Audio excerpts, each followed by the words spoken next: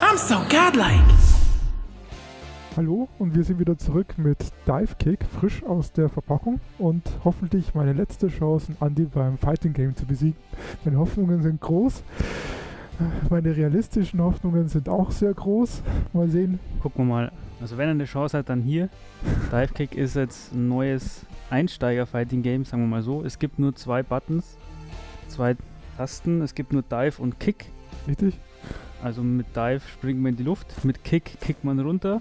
Mit einem Hit ist man tot, Runde vorbei, nächste Runde geht los. Also man braucht hier keine Kombos, keine komplizierten Special Moves sich merken.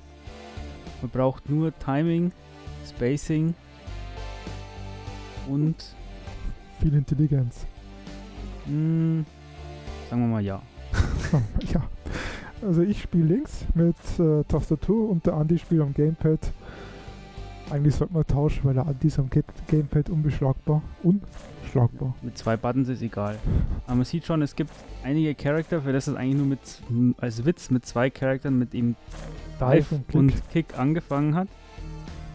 Ähm, das Game ist gespickt mit kleinen Seitenhieben in die Fighting Game Community. Wer sich da nicht auskennt, wird leider nicht viel verstehen, aber viele Charakter sind entweder basierend auf Figur, also aus echten Spielern aus der Fighting Game Community oder aus ähm, Charakteren in Spielen. Wir haben ja gerade eine kurze Testaufnahme gemacht und ich habe festgestellt, die sind auch sehr liebevoll gestaltet. Genau. Mit sehr vielen kleineren Details. Hier so kann man Gem auswählen. Das heißt, Dive Gem 10%, also plus 10% Dive heißt, ich kann ungefähr 10% höher springen. Kick Gem ist plus 10% Kick, da kicke ich 10% schneller. Style Gem, ich kann äh, Mieter bilden praktisch, mit dem auch jeder Charakter zwei Special Moves ausführen kann. Der geht das um 10% schneller. Und es gibt noch ein YOLO Gem. Alles plus 30%, aber All Personal, also Personal Sudden Death. Das heißt, ähm, es geht normalerweise bis 5. Also wer 5 Runden gewonnen hat, wenn ich YOLO Gem nehme, habe ich praktisch schon 4 verloren. Wenn ich nur einmal getroffen werde, ist dieses Match vorbei. Eigentlich könntest du das nehmen, ne? Weil du bist ja. Vielleicht ah, später. Verdammt. Ah, man kann hier sogar die Farben auswählen. Also man sieht schon, da ist sehr viel Liebe zum Detail. Ja, ich nehme diesmal, ich nehme das Grüne.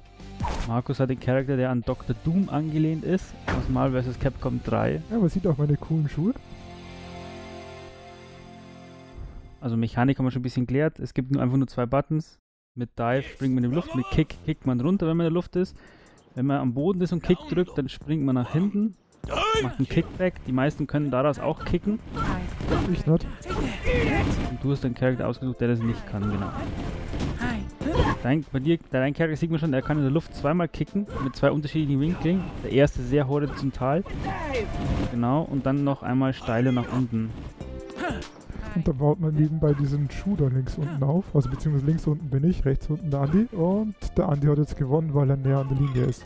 Genau, die Zeit abgelaufen ist. Unten, genau, unten sieht man die Schuhe. Und das rote ist das Mieter, das man aufbaut. Und man sieht auch ein A und ein G daneben mit jeweils Linien. Das sind die Special Moves, die man einsetzen kann, wenn Rot mindestens an dieser Linie ist. Ja, Entschuldigung. Eigentlich müsste ich doch jetzt springen können. Ich wollte kurz mal Special Move zeigen. Genau, dann zeigt er einen Special Move. Moment. Genau, in der Luft kannst du fliegen. Solange unten dieses kurz. rote äh, Zeug ausreicht. Genau, ich kann in der Luft kurz stehen bleiben. Und am Boden kann ich nach hinten laufen.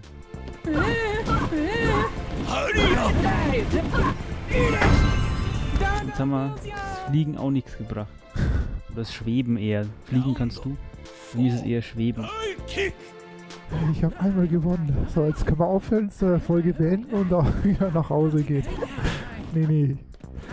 genau, wenn man keine Special Moves einsetzt und der Schuh komplett voll wird, dann kommt man in Kick Factor. Man springt hier höher und fliegt schneller. Und jetzt habe ich einen Headshot kassiert.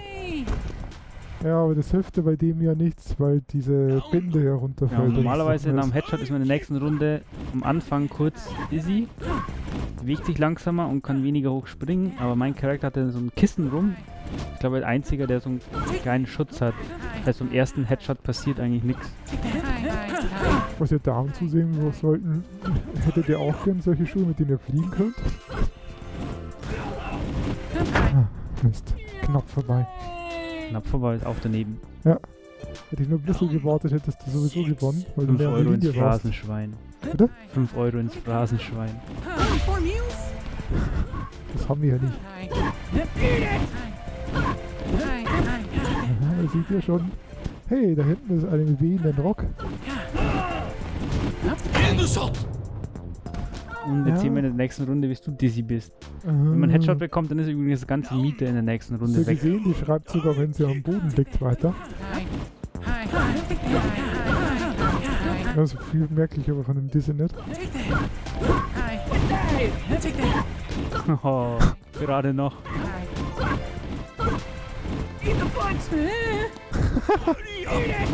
Ach Mist. Was? Ich fand das so cool, wie er zurückgelaufen ist. ja, beim zweiten Mal trifft es selbst nicht. Dann muss ich aufpassen, bis sein Meter abgelaufen ist. So, schön.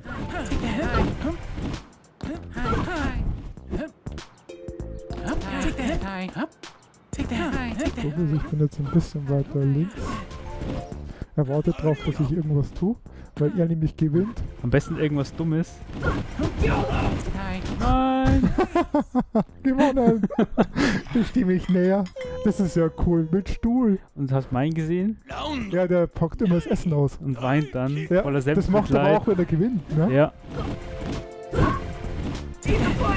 Ah! Mist! Beim ersten Mal falsch gedrückt. Verdammte Kacke. Aber das macht er auch, wenn er gewinnt. Und sie schreibt auch weiter. Also, jetzt muss ich notieren, warum du es verloren hast. Not losing D. Rematch. Ja, auf Ich jeden muss sagen, Fall. auch, auch das ganze Menü und so lässt sich mit den zwei Tasten bedienen. Also man braucht weder irgendein Steuerkreuz, Control Stick, sonst irgendwas. Es funktioniert alles mit zwei Tasten. Was mich auf jeden Fall ein bisschen zur Ver Verzweiflung gebracht hat, wenn man durch das ganze Grafikmenü durch muss. Nice! Ach, Treffer. ich habe mir gedacht, du kickst eher. Ich war kurz überrascht, dass du mir entgegenspringst. Aber es sieht schon, ich habe wenigstens einmal gewonnen. Das passiert mir sonst nie. Er versucht mich abzulenken.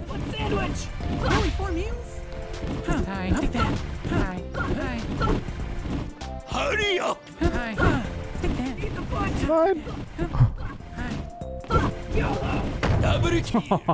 Gerade noch, eigentlich war die Zeit schon Warum abgelaufen. Double? Achso, weil die Zeit abgelaufen war. Double Kill ist, weil du hast mir jetzt zweimal hintereinander geheadshottet. Achso, aber das war der letzte. Achso, stimmt. Ah, Andi lasst mich gewinnen, ich sehe schon.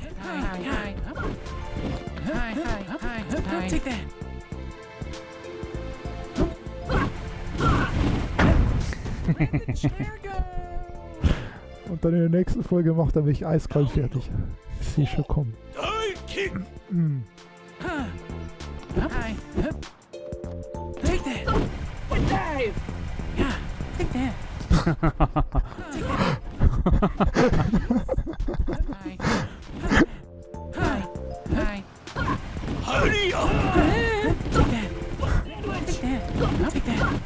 Scheiße, jetzt gewinnst du. Weil du näher dran stehst. Jetzt reicht sie die Maske die Ma- runter und genau. dreht sich um. Nein, natürlich nicht. Und die Maske, also nee, na, sie dreht sich in die andere Richtung, hat die mit umdrehen. Äh, Andi Bauer kann hier voll aufbauen. Ach Mist. Hihi. ich gewinne auch mal.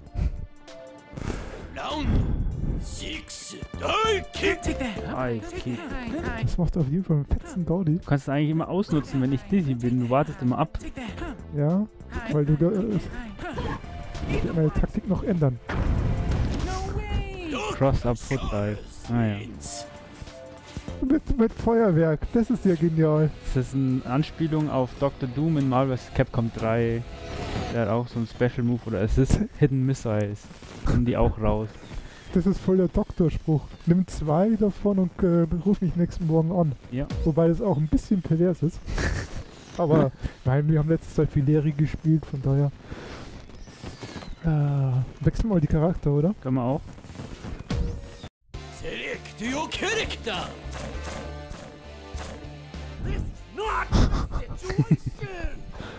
Äh,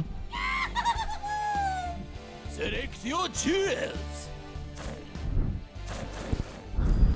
10% Dive, 10% Dive. Ja, die springt eh nicht hoch. Die haben wir gerade vorhin schon mal ausprobiert, währenddessen, dass wir die Recordings getestet haben.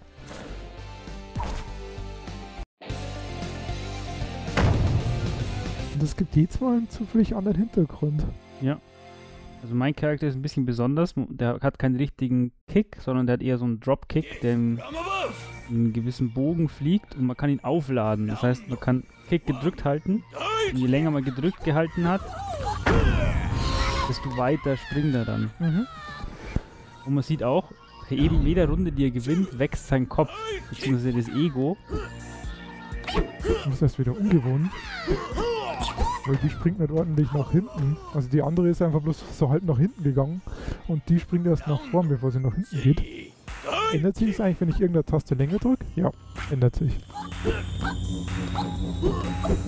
Was ändert sich? Jetzt springt sie zum Beispiel nicht nach hinten. Doch, Die springt schon nach hinten, nur der, da ich auch am Ende vom Bildschirm stehe, siehst du es nicht. Ah, okay. Ich kann zweimal nach hinten sozusagen springen. Also einmal nach hinten springen oder wenn ich beim Hochspringen nochmal nach hinten springe. Man merkt, das Ego wächst jetzt beim Charakter so stark, dass er wegfliegt. Kick. Ah, man kann die Superkräfte auslösen. Das hat man gerade vorhin schon mal kurz erklärt. Mir gefällt die andere besser mit zweimal kicken.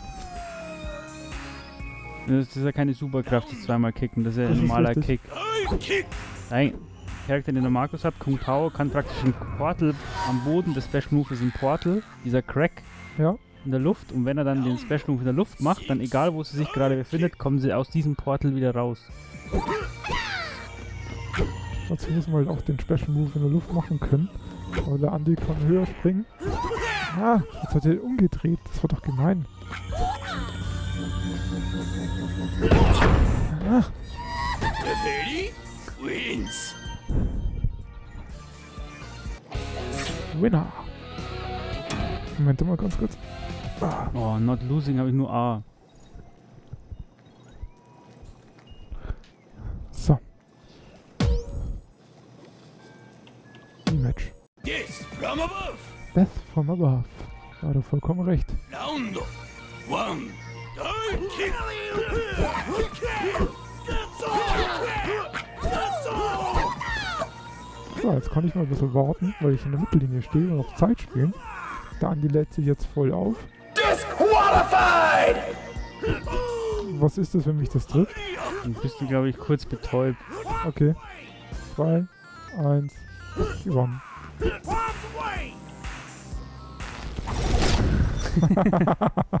Mortal Kombat Anspielung wie der ganze Charakter. Kung Pao wie Kung Lao von Mortal Kombat. Ah. Ich sollte nach hinten springen, nicht immer nach oben. Das Timing ändern. Round three. Dive kick. Check out my bobblehead. Special Move am Boden heißt Timer Scam, wo er einfach 5 Minuten sein Bubblehead herze äh, 5 Sekunden sein Bubblehead herzeigt.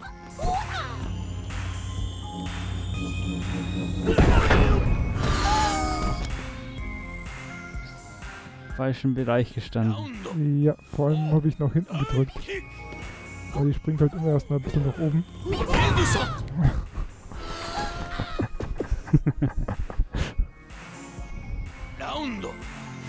Ja, sieht schon, die auf die Charaktere kommt es auf jeden Fall ein bisschen an.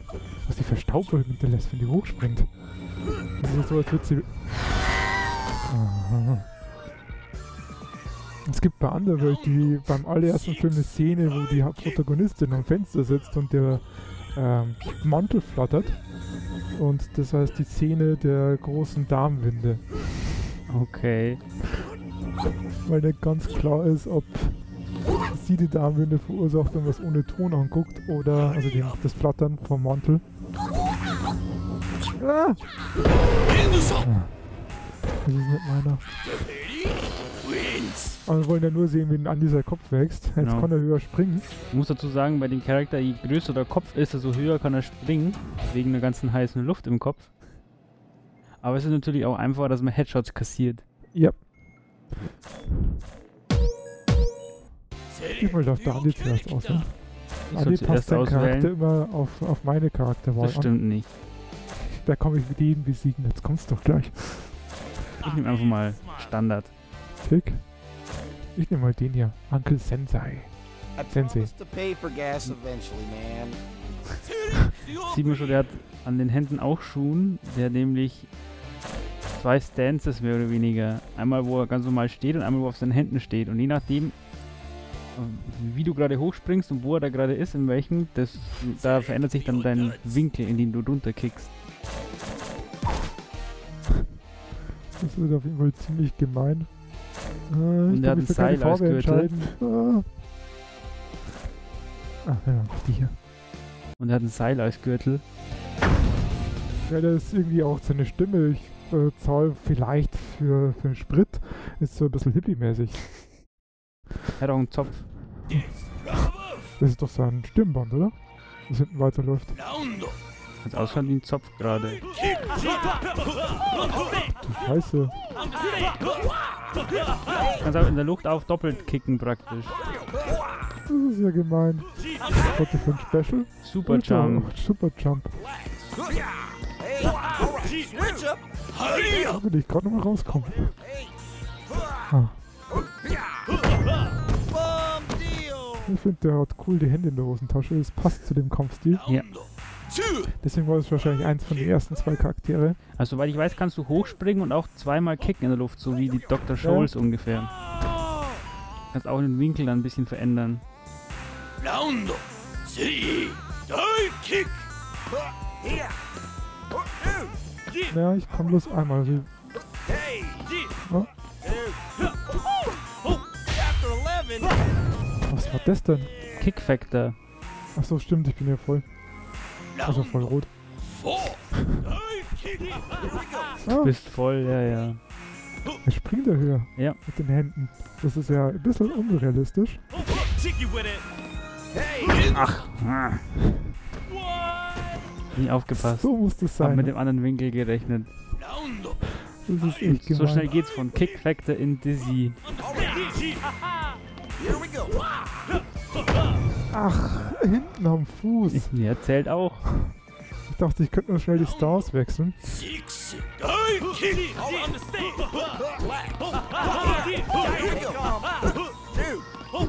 Ah. du hast mich geschlagen. Knapp, knapp verpeilt. Hat er höchstens eine Handbreit gefehlt, ne?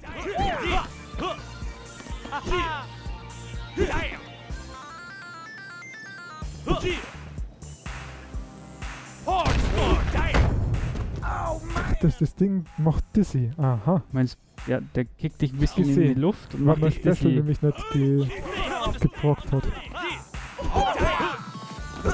Okay.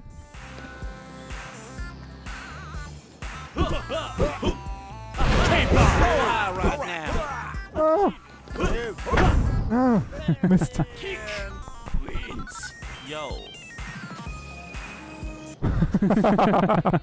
er ruft seine eine Freundin beim Gewinnen an. Sehr cool. Und die schaut sehr, sehr japanisch, äh, japanisch aus. Japanisch. Parents just don't understand.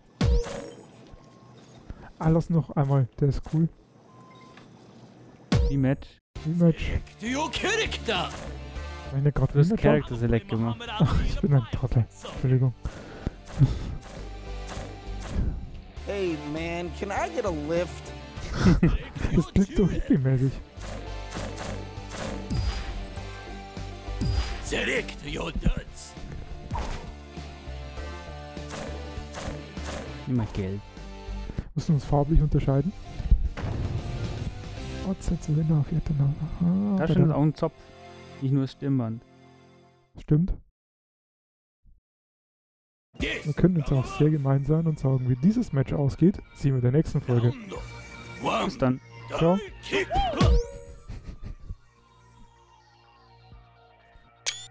Ich hoffe, das ist gemein. Ach.